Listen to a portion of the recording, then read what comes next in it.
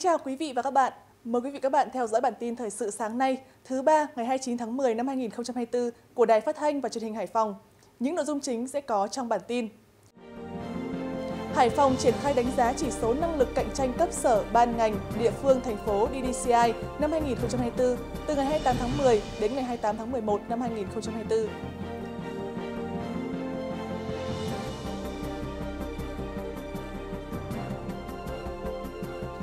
Nhiều chính sách đãi ngộ cho nhân viên, sinh viên đang theo học điều dưỡng được áp dụng. Cùng nhiều thông tin đáng quan tâm khác, sau đây là nội dung chi tiết. Thực hiện kế hoạch của Ủy ban dân thành phố về đánh giá chỉ số năng lực cạnh tranh cấp sở ban ngành địa phương thành phố DDCI năm 2024, công tác khảo sát DDCI sẽ được triển khai từ ngày 28 tháng 10 đến ngày 28 tháng 11 năm 2024. Đối tượng khảo sát là 2.500 doanh nghiệp, hợp tác xã, hộ kinh doanh đã thực hiện dịch vụ công hoặc thủ tục hành chính, tham dự hội nghị đối thoại doanh nghiệp, được hỗ trợ theo các chương trình hỗ trợ hoặc có quan hệ công tác với các cơ quan được đánh giá. Việc khảo sát được thực hiện theo hai hình thức, trực tuyến và trực tiếp. Kết quả khảo sát điều tra DDCI là cơ sở để Ủy ban Nhân dân thành phố nghiên cứu, đưa ra các giải pháp phù hợp, nâng cao chất lượng, giải quyết thủ tục hành chính, cải thiện môi trường đầu tư kinh doanh – đây cũng là cơ sở để các sở, ban, ngành, ủy ban nhân dân các quận, huyện đưa ra các giải pháp khắc phục hạn chế và nâng cao chất lượng phục vụ doanh nghiệp, hợp tác xã, hộ kinh doanh cũng như công tác điều hành kinh tế tại mỗi cơ quan, đơn vị. Là một trong những địa phương có tốc độ đô thị hóa nhanh, thời gian qua, quận Hải An đã đẩy mạnh cuộc vận động xây dựng đô thị văn minh. Qua đó đã phát huy tinh thần sáng tạo, đoàn kết của nhân dân trong phát triển kinh tế, đoàn kết xây dựng đời sống văn hóa, giữ gìn vệ sinh môi trường, nâng cao ý thức chấp hành pháp luật của nhân dân. Ngõ 228 tổ dân phố số 3, phường Tràng Cát, quận Hải An có chiều dài trên 500 mét với hơn 120 hộ dân sinh sống. Trước đây tại khu vực ngõ, tình trạng rác thải vứt bừa bãi không đúng nơi quy định, tình hình mất an ninh trật tự, ô nhiễm tiếng ồn diễn ra khá phổ biến. Từ khi triển khai mô hình ngõ phố văn minh tự quản, tình hình trên đã được cải thiện đáng kể. Chủ nhật ờ, đầu tuần và chủ nhật giữa tuần là bà con là sáng chiều ờ, sau khi ờ, những ngày lao động thì tập trung về tổng vệ sinh toàn bộ xóm ngõ. Thế cho nên trong toàn bộ xóm ngõ này nhân dân là tự giác.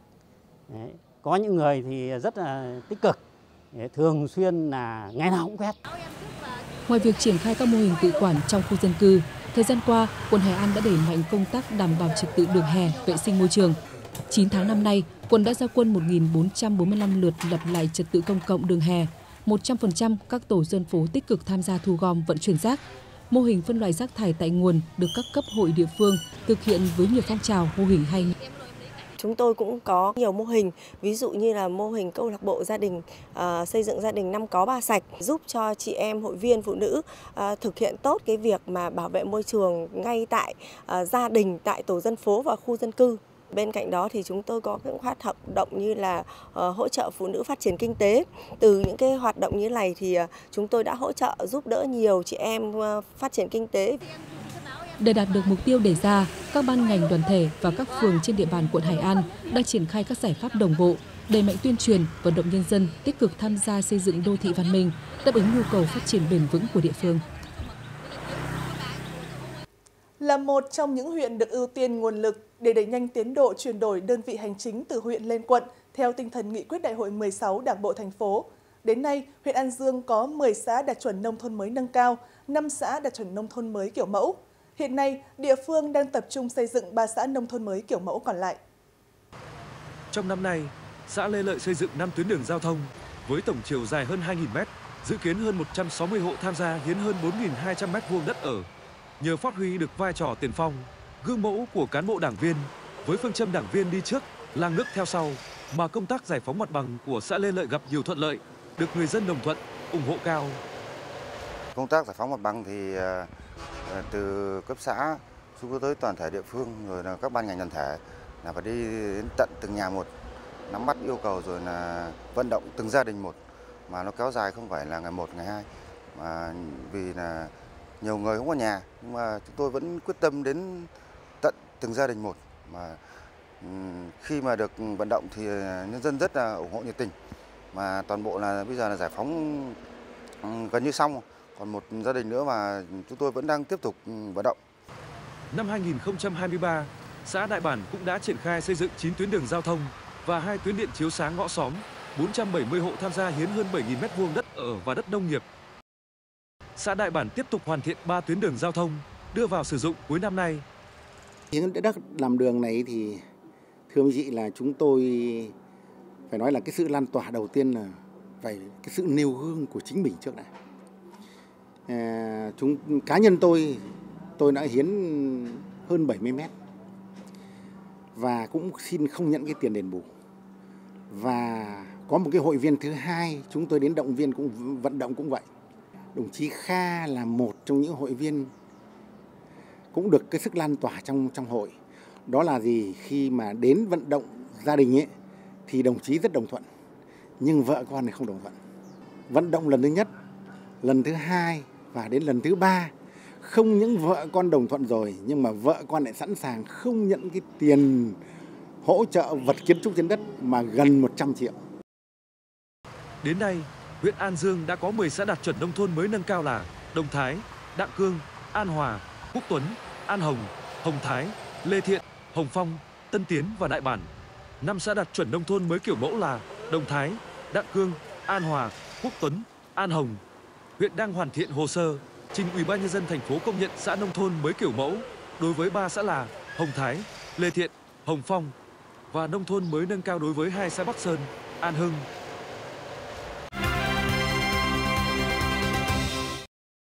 Thực hiện quyết định số 06 ngày 6 tháng 1 năm 2022 của Thủ tướng Chính phủ phê duyệt đề án phát triển ứng dụng dữ liệu dân cư, định danh và xác thực điện tử phục vụ chuyển đổi số quốc gia giai đoạn 2022-2025, tầm nhìn đến năm 2030, thành phố đã triển khai có hiệu quả, từ đó tạo thuận lợi cho người dân khi đi khám chữa bệnh và thực hiện các quyền lợi về bảo hiểm xã hội. Theo đó, có 188 trên tổng số 188 cơ sở khám chữa bệnh bảo hiểm y tế thực hiện tra cứu thông tin thẻ bảo hiểm y tế bằng căn cước công dân với 2,2 triệu lượt tra cứu.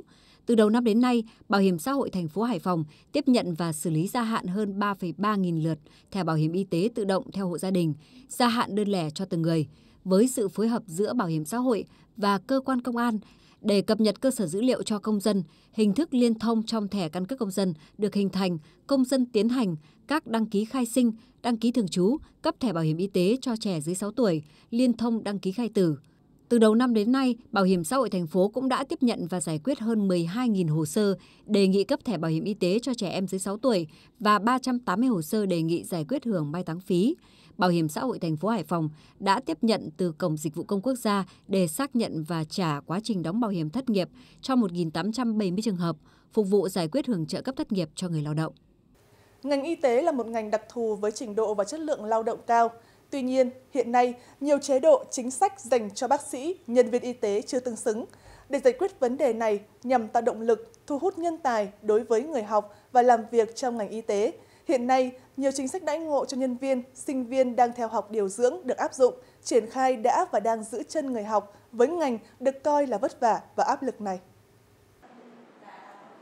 Theo báo cáo của Cục Quản lý Khám chữa bệnh Bộ Y tế, tại Việt Nam đến năm 2023, với 100 triệu dân, cần phải có 260.000 điều dưỡng, nhưng trên thực tế nước ta mới chỉ có 140.000 điều dưỡng. Do đặc thù chuyên môn vất vả, tiếp xúc phục vụ trực tiếp người bệnh thường xuyên, cùng nhiều yêu cầu cao của công việc. Bởi vậy, số lượng người theo học ngành nghề điều dưỡng không cao. Em thấy là nó cũng có vất vả và mọi người thấy ở ngoài thì điều dưỡng rất là vất vả ạ. Nhiều năm liền, các cơ sở giáo dục về y tế không tuyển đủ chỉ tiêu, đặc biệt với ngành điều dưỡng. Tuy nhiên, từ năm 2023, tình hình tuyển sinh ngành học này đã dần cải thiện tốt hơn, đạt tỷ lệ khoảng 50% chỉ tiêu đặt ra. Đặc biệt năm 2024, Tại trường Cao đẳng Y tế Hải Phòng, chỉ tiêu tuyển sinh ngành điều dưỡng đã cao 2,5 lần so với mọi năm. Điều này được lý giải bởi đây là một trong số ít các ngành nghề được hỗ trợ 70% học phí. Năm học 2024-2025 thì trường Cao đẳng Y tế Hải Phòng đã tuyển sinh được số lượng sinh viên điều dưỡng à, tăng gấp gần 2 lần so với năm học trước. À, bởi ngoài quá trình học tập tại trường, các em à, còn được học à, thực hành tại các bệnh viện lớn trong thành phố và sinh viên được hỗ trợ học phí. Để người học mặn mà hơn với nghề, các cơ sở giáo dục ngoài việc thực hiện tốt công tác tư vấn tuyển sinh trực tiếp tại các trường trung học phổ thông, ký kết với các doanh nghiệp, cơ sở y tế, nơi sử dụng lao động, cam kết đầu ra ổn định cho sinh viên, hỗ trợ ký túc xá, chi phí ăn ở đi lại đối với những trường hợp sinh viên có hoàn cảnh khó khăn. Và đặc biệt, việc hỗ trợ 70% học phí như chính sách hiện hành của Bộ Lao động Thương binh và Xã hội đã và đang khiến người học yên tâm, gắn bó với ngành nghề mà các em đã đang lựa chọn và theo học. Như thường lệ, phần cuối bản tin sẽ là những thông tin dự báo thời tiết. Chúc quý vị một ngày với nhiều niềm vui. Xin kính chào tạm biệt và hẹn gặp lại.